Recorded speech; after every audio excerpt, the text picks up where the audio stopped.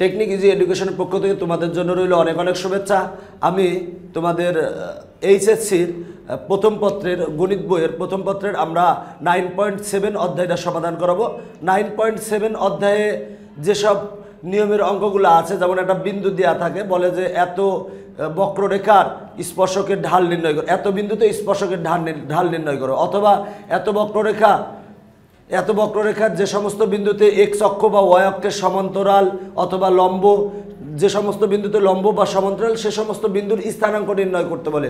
এই টাইপের অঙ্কগুলা আসে, আছে এই চ্যাপ্টারে তো আসো, আমরা এই অঙ্কগুলোই কিছু সলভ করাবো। আজকে আমি তোমাদের এই এক, চার এবং পাঁচ, এসি আহমেদের এই তিন বইয়ের এই তিনটা অঙ্ক আমি সলভ করাবো আগে।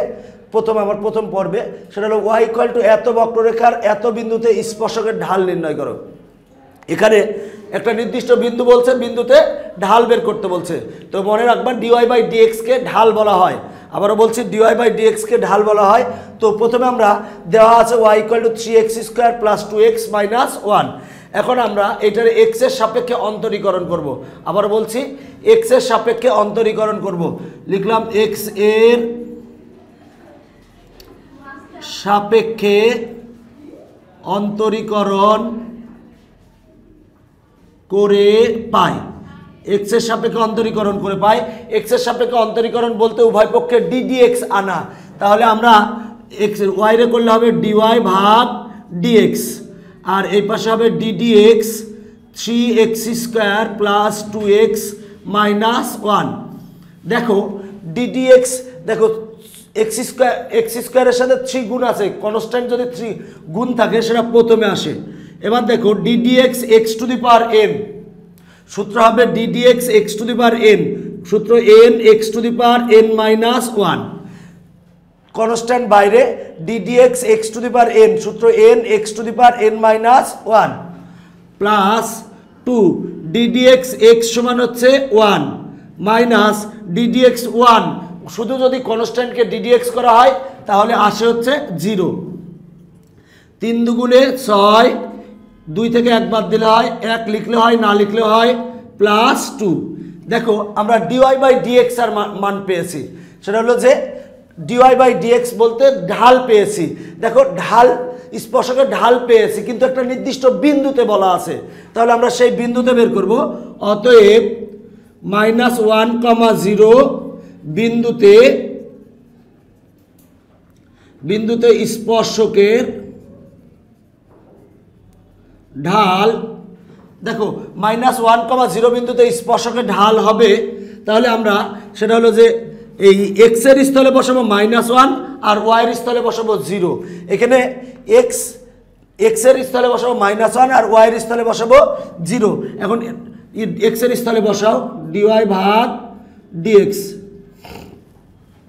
এক্সের স্থলে মাইনাস ওয়ান বসাও সিক্স ইন্টু মাইনাস ওয়ান যোগ টু এখন দেখো তাহলে মাইনাস সিক্স প্লাস টু সমান মাইনাস ফোর তাহলে অ্যান্সার হচ্ছে অ্যান্সার মাইনাস ফোর দেখো, প্রশ্নটা বলছিল, এত বক্ররেখার, এত বিন্দুতে স্পর্শকের ঢাল নির্ণয় করো। তো প্রথমে আমরা যে বক্ররেখাটা দেওয়া আছে সেটা লিখছি, এরপরে এক্সের সাপেক্ষে অন্তরীকরণ করে পাই। এক্সের সাপেক্ষে অন্তরীকরণ বলতে উভয় পক্ষে ডিডিএক্স আনছি। তাহলে ওয়াইরে করলে হবে ডিওয়াই ভাগ ডিএক্স আর এই পাশে হবে ডিডি এক্স থ্রি হলো কনস্ট্যান্ট থ্রি বাইরে আসলো D D X X to the power N আবার বলছি D D X X to the power N সূত্র N X to the power N minus one plus two D D X X X X সমান one D D X one one হচ্ছে constant কনস্ট্যান্টে করলে হয় zero এখন দেখো তিন দুগুণে ছয় এক্স প্লাস টু একটা নির্দিষ্ট বিন্দুতে বলছিল, তাহলে এত বিন্দুতে স্পর্শকের ঢাল স্পর্শকের ঢাল বলতে ডিওয়াই বাই ডিএক্স এখানে এক্সের মান বস- বসাবো মাইনাস ওয়ান আর ওয়াইয়ের মান বসাবো জিরো যেহেতু ওয়াই নাই, তাই আমরা এক্সের মান মাইনাস ওয়ান বসিয়েছি। বসিয়ে মাইনাস ফোর এসে এসেছে। অ্যান্সার হলো মাইনাস ফোর দেখো, আমি এখন চার নম্বর অঙ্কটা করাবো। সেটা হলো ওয়াই ইকুয়াল টু এত বক্ররেখার যে সমস্ত বিন্দুতে স্পর্শকগুলো এক্স অক্ষের সমান্তরাল। যদি স্পর্শক এক্স অক্ষের সমান্তরাল হয়, দেখো, স্পর্শক যদি এক্স অক্ষের সমান্তরাল হয়, তাহলে ঢাল D Y by D X equal to tan zero degree হবে। টেন জিরো ডিগ্রি হবে, দেখো, ঢাল আমরা যে ব্যাপারটা বলি সেটা হলো স্পর্শক যদি এক্স অক্ষের সমান্তরাল হয়। দেখো, আমি একটা এই এক্স অক্ষ, স্পর্শক যদি এক্স অক্ষের সমান্তরাল হয়, তাহলে D Y by D X equal to কত ডিগ্রি কোণ উৎপন্ন করছে? Tan zero degree zero degree কোণ উৎপন্ন করে এক্স অক্ষের সাথে। তাহলে আমরা D Y by D X equal to লিখব ট্যান জিরো ডিগ্রি দেখেন, সেটা হলো যে বলল এত বক্ররেখার যে সমস্ত বিন্দুতে স্পর্শক এক্স অক্ষের সমান্তরাল। যদি এক্স অক্ষের সমান্তরাল বলবে, বললে D Y by D X equal to লিখব ট্যান জিরো ডিগ্রি যদি বলে এক্স অক্ষের উপর লম্ব, তাহলে কত ডিগ্রি কোণ উৎপন্ন করে? Ninety degree. তার মানে D Y by D X equal to tan ninety degree. আর যদি বলে ওয়াই অক্ষের ওপর লম্ব ওয়াই অক্ষের উপর যদি লম্ব হয় ওয়াই অক্ষের উপর লম্ব মানে অভিয়াসলি দেখো এটা হলো ওয়াই অক্ষের সাথে লম্ব বলতে অভিয়াসলি এক্স অক্ষের সমান্তরাল এক্স অক্ষের সমান্তরাল হলে ট্যান জিরো ডিগ্রি আর যদি ওয়াই অক্ষের সমান্তরাল বলে, তাহলে আমার হবে হচ্ছে নাইনটি ডিগ্রি দেখো সেটা হলো নব্বই ডিগ্রি আসবে। যদি ওয়াই অক্ষের সমান্তরাল বলে, তাহলে কোন উৎপন্ন হবে নাইনটি ডিগ্রি মানে D Y by D X equal to হবে ট্যান নাইনটি ডিগ্রি। তো এখন আমরা অঙ্কটা সমাধান করব বলছে যে এত বক্ররেখার যে সমস্ত বিন্দুতে স্পর্শগুলো এক্স অক্ষের সমান্তরাল, তাদের স্থানাঙ্ক বের করো। তো প্রথমে যেটা দেওয়া আছে আমি লিখছি, এরপরে এক্সের সাপেক্ষে অন্তরীকরণ করে পাই। এক্সের সাপেক্ষে অন্তরীকরণ বলতে উভয় পক্ষে ডিডিএক্স আনা। D D X X cube minus three X plus two. এখন দেখো D D X X to the power M D D X X to the power N এর সূত্র N X to the power N minus one minus D D X three three X দেখো three হলো constant three বাইরে, আর D D X X D D X X যদি আমরা এক্সকে অন্তরীকরণ করি তাহলে আসে হচ্ছে one D D X X সমান one plus D D X two two হচ্ছে কনস্ট্যান্ট টুকে করলে হয় zero D D X constant সমান জিরো আচ্ছা আসে হলো three X square minus three দেখো আমরা ডিওয়াই বাই ডিএক্স পেয়েছি। এখন বলছে স্পর্শগুলো এক্স অক্ষের উপর সমান্তরাল। তাহলে লিখব যেহেতু স্পর্শকগুলো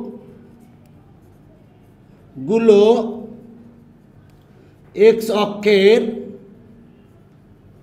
সমান্তরাল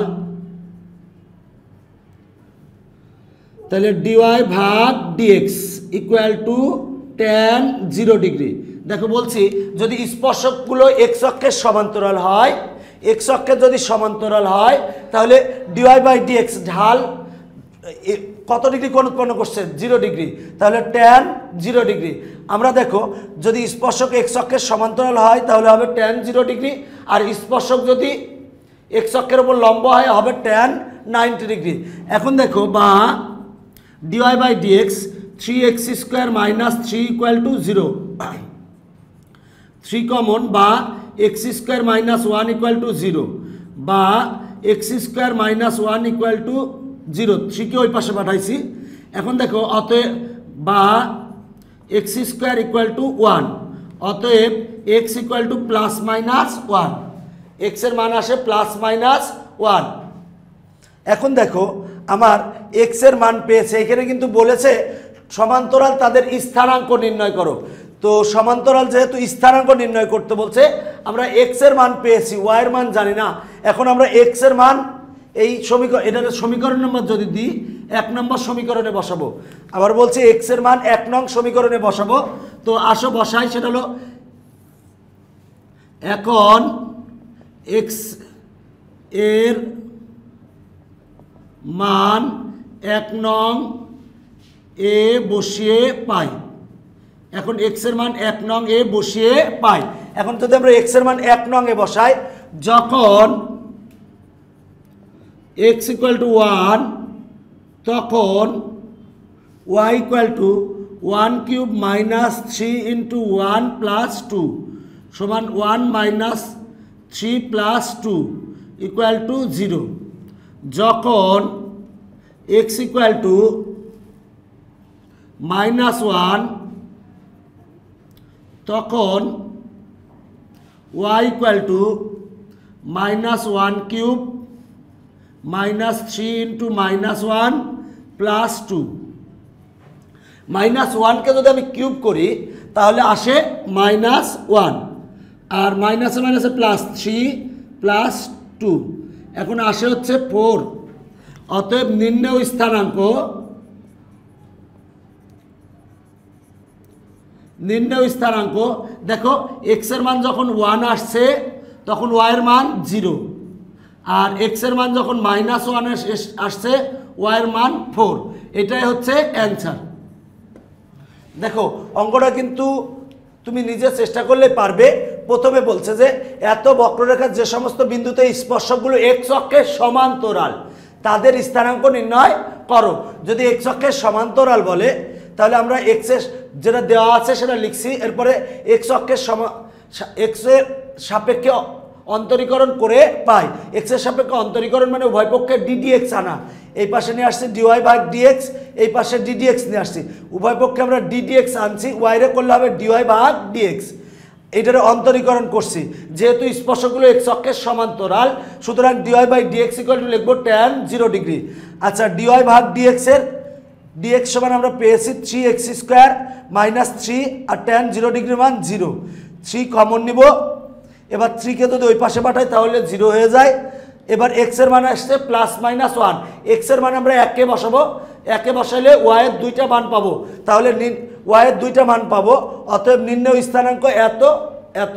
অ্যান্সার শেষ। এখন দেখো, পাঁচ নাম্বার অঙ্কটা করাবো। বলছে যে, এত ইকুয়াল টু জিরো বক্ররেখার যে সমস্ত বিন্দুতে স্পর্শক ওয়াই অক্ষের সমান্তরাল।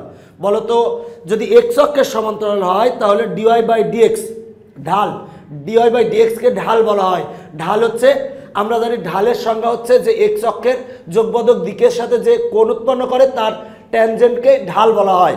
এখন ঢালকে এম দ্বারাও প্রকাশ করা হয়, আবার ডিওয়াই বাই ডিএক্স দ্বারাও প্রকাশ করা হয়। এখন দেখো, বলছে যে স্পর্শকগুলো ওয়াই অক্ষের সমান্তরাল। যদি ওয়াই সরি ওয়াই অক্ষের সমান্তরাল হয়, তাহলে দেখো ওয়াই অক্ষের সমান্তরাল বলতে এক্স অক্ষের সাথে কোন উৎপন্ন করে নাইনটি ডিগ্রি দেখো, যদি ওয়াই অক্ষের সমান্তরাল হয়, তাহলে ওয়াই অক্ষের সমান্তরাল, তাহলে এক্স অক্ষ কোণ উৎপন্ন করে নাইনটি ডিগ্রি তাহলে আমরা ঢাল D Y by D X equal to কি বলব? Tan ninety degree tan ninety degree আর যদি বলতো এক্স অক্ষের সমান্তরাল, তাহলে এক্স অক্ষের সাথে কত ডিগ্রি কোণ উৎপন্ন করে? জিরো ডিগ্রি তাহলে D Y by D X equal to tan zero degree তো আসো, অঙ্কটা আমরা সমাধান করাই। যে যেটা দেওয়া আছে লিখছি, এরপরে এক্স অক্ষের সাথে এক্স অক্ষের সাপেক্ষে অন্তরীকরণ এক্সের সাপেক্ষে অন্তরীকরণ করে পাই। এক্সের সাপেক্ষে অন্তরীকরণ মানে উভয় পক্ষে ডিডিএক্স আনছি। আবার বলছে এক্সের সাপেক্ষে অন্তরীকরণ বলতে উভয় পক্ষে ডিডিএক্স আনছি। এখন দেখো D D X X to the power N সূত্র N X to the power N minus one two A constant two A প্রথমে থাকল ডিডিএক্স এক্স সমান one D D X X to the power N সূত্র হলো N X to the power N minus one আবার বলছি D D X X to the power N সূত্র N X to the power N minus one যেহেতু এটা x না, আমি x ধরছি তাই ওয়াইরে আবার ডিডি করলে হয় ডিওয়াই ভাগ ডিএক্স আর ডিডিএক্স জিরো সমান জিরো। দুই থেকে এক বাদ দিলে হয় two x, two A, R two Y D Y by D X এই দুইটা প্লাস, এই পাশে আসলে মাইনাস, টু ওয়াই গুণ আছে, ওই পাশে গেলে ভাগ হবে। এখানে টু কমন নিয়ে লব হরে টু কেটে দিয়েছি। এখন দেখো ডিওয়াই বাই ডিএক্স এর মান আমরা পেয়েছি। এখন বলছে যেহেতু স্পর্শকগুলো ওয়াই অক্ষের সমান্তরাল যেহেতু স্পর্শকগুলো ওয়াই অক্ষের সমান্তরাল, তাহলে D Y by D X equal to tan ninety degree যেহেতু স্পর্শকগুলি ওয়াই অক্ষের সমান্তরাল, তাহলে D Y by D X equal to tan ninety degree tan ninety ডিগ্রির মান হচ্ছে, দেখো ট্যান নাইনটি ডিগ্রির মান হচ্ছে অসংজ্ঞায়িত। এখন অসংজ্ঞায়িত বলতে আমরা এখন ডিওয়াই বাই ডিএক্স এর যে মানটা পেয়েছি মাইনাস এ মাইনাস এক্স ভাগ Y minus A minus X ভাগ Y D Y by D X এর মান লিখছি। আর ট্যান নাইনটি ডিগ্রির মান হচ্ছে ইনফিনিটি সরি অসংজ্ঞায়িত। দেখো, অসংজ্ঞায়িত, তো আমরা অসংজ্ঞায়িত বলতে বোঝাবো ওয়ান কোনো কিছু ভাগ জিরো কোনো কিছু বা ভাগ জিরোকে আমরা অসংজ্ঞায়িত বলি। তাহলে কোনো কিছু বলতে ওয়ান ভাগ জিরো লিখছি। এবার দেখো, বজ্রগ্রহণ করে বজ্রগ্রহণ করলে ওয়াইয়ের মান আসে জিরো এখন ওয়াইয়ের মান তুমি একে বসাও, বসালে তুমি এক্সের মান পাবা। কারণ বলছিল যে বক্ররেখার যে সমস্ত বিন্দুতে ওয়াই অক্ষের সমান্তরাল ওই তাদের স্থানাঙ্ক নির্ণয় করো। আমরা আগে ওয়াইয়ের মান পেয়েছি, এখন ওয়াইয়ের মান আমরা একে বসাবো। আবারও বলছি, ওয়াইয়ের মান পেয়েছি, ওয়াইয়ের মান আমরা একে বসাবো বসালে এক্সের মান পাবো। অতএব নির্ণয় স্থানাঙ্ক, দেখো এক্সের মান যখন জিরো ওয়াইয়ের মান তখন জিরো এক্সের মান যখন মাইনাস টু এ, ওয়াইয়ের মান তখন জিরো দেখো, অঙ্কটা কিন্তু অনেক সহ- সহজ। তুমি নিজে চেষ্টা করলে পারবে। আর এই জিনিসটা তুমি ক্লিয়ার করো, সেটা হলো এক্স অক্ষের যদি সমান্তরাল বলে তাহলে এক্স অক্ষের সাথে কত ডিগ্রি কোণ উৎপন্ন করে? এক্স অক্ষের সাথে এক্স অক্ষ এক্স অক্ষের সাথে জিরো ডিগ্রি কোণ উৎপন্ন করে। তার মানে D Y by D X equal to হবে টেন জিরো ডিগ্রি। যদি বলে এক্স অক্ষের ওপর লম্ব, তাহলে এক্স অক্ষের উপর লম্ব বলতে এক্স লম্ব বলতে ওয়াই অক্ষ বোঝায়। এক্স অক্ষের উপর লম্ব অবস্থিত হচ্ছে ওয়াই অক্ষ। তাহলে D Y by D X equal to হবে টেন নাইনটি ডিগ্রি। আর যদি বলে ওয়াই অক্ষের সমান্তরাল, সেক্ষেত্রে এক্স অক্ষ ওয়াই অক্ষের সাথে নাইনটি ডিগ্রি কোণ উৎপন্ন করে। তাহলে D Y by D X equal to tan ninety degree সবাইকে ধন্যবাদ আমার লেকচারটি দেখার জন্য। সবাই ভালো থাকবা।